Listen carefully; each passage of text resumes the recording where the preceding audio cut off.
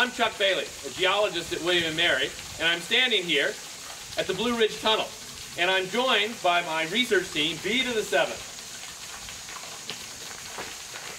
I'm Nailah. They call me TNT. I'm Morgan. They call me Royal Purple. And I'm Braden, and they call me Rain Man. We're excited to have you with us as we explore the geology of this iconic landmark in the Virginia Blue Ridge. Welcome to Stop One. We're standing here on the edge of the parking lot at the East Trailhead. And behind me is an outcrop of Catoctin greenstone. On this field trip, we're going to see a great deal of the Catoctin greenstone, which is what the Blue Ridge Tunnel is bored through. This rock, you can see on some of the uh, fresh surfaces, is actually a bluish green. And originally this was a basaltic rock that's been metamorphosed and turned into a rock we know as a greenstone with blue-green minerals. The rock also has a very interesting and important structure. And maybe you can see some of the, the structure in this rock. These are planes of aligned minerals. We call this a foliation. And the Catoctin Formation developed a foliation as these rocks were sheared and deformed long ago. And these structures are an important part of the underlying architecture of the Blue Ridge Mountains here. Um, and there's a lot to see at this outcrop. Hello, and welcome to Stop 2 of the Blue Ridge Tunnel Virtual Field Guide. Behind me is an outcrop the Catoctin Formation. It is a half a billion year old outcrop of greenstone, which was originally uh, basaltic lava flows. Uh, they were metamorphosed, creating new minerals within the basalt, uh, namely chlorite, quartz, and epidote, which we can see exposed here, um, as well as over time there being uh, structural changes, such as the, the angling downwards of this outcrop.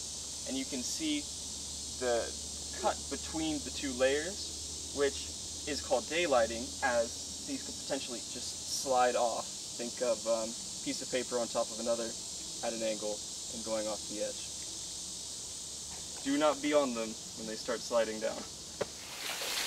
Welcome to the eastern portal of the Blue Ridge Tunnel. This is the location where Claudius Crozet began to tunnel through the Blue Ridge Mountains. It's here, the railroad jogs a little bit, and the tunnel goes 4,400 feet straight underneath Rockfish Gap, cutting primarily through the greenstones of the Catoctin Formation.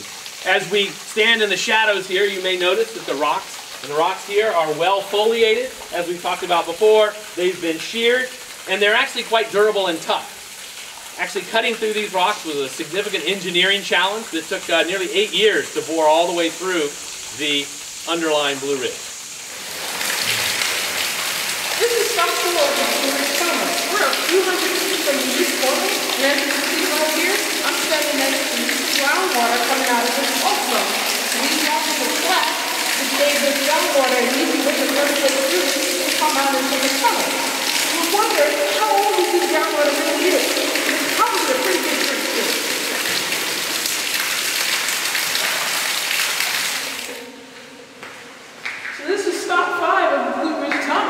Welcome to the Hall of Buddhas.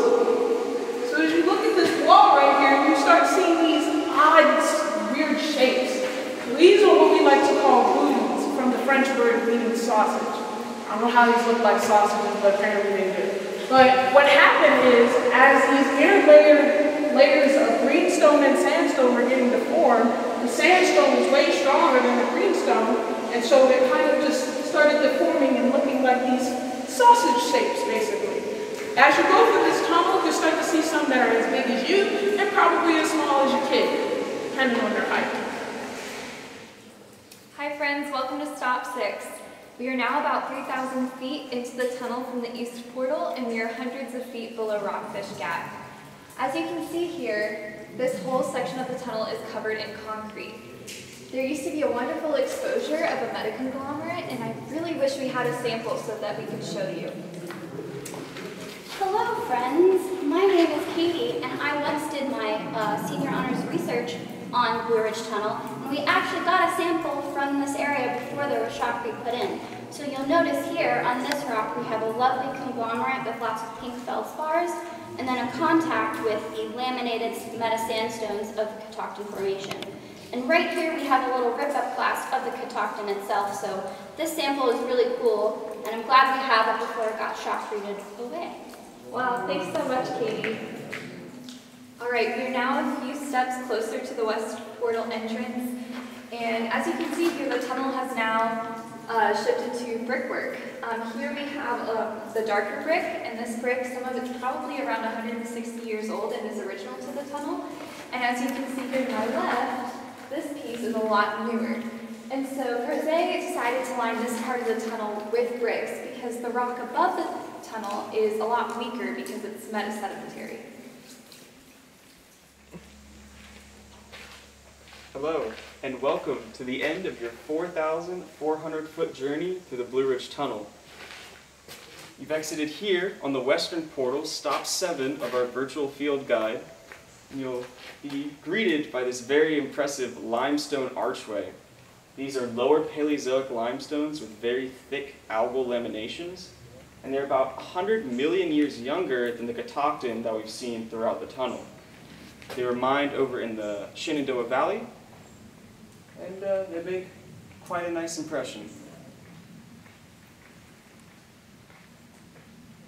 Something you will also see at Stop 7 and with the Western Portal are further extensions of the Catoctin Formation, which we've seen throughout, but these are 20 million years younger than what we've seen on the other side, showing that we've reached a higher stratigraphic section of the Catoctin Formation. Welcome to Stop 8. This is your last stop in the Blue Ridge Tunnel Tour. And I am leaning on a piece of diabase, and diabase is a dark igneous rock. And this diabase is actually part of the youngest rocks in the Blue Ridge. And we know this because it has not gone through any deformation. The Catoctin Formation was deposited, deformed, and went, underwent some metamorphism, where this diabase was a part of an igneous dike that cut through the Catoctin Formation.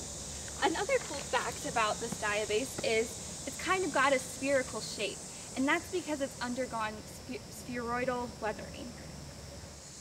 Hi friends, we hope you've enjoyed this virtual geologic tour of the Blue Ridge Tunnel. It's a fabulous place to learn about the structure and geology of the Blue Ridge, and if you're interested in learning more, please check out the William Mary Geology website. Remember to pink your feldspars!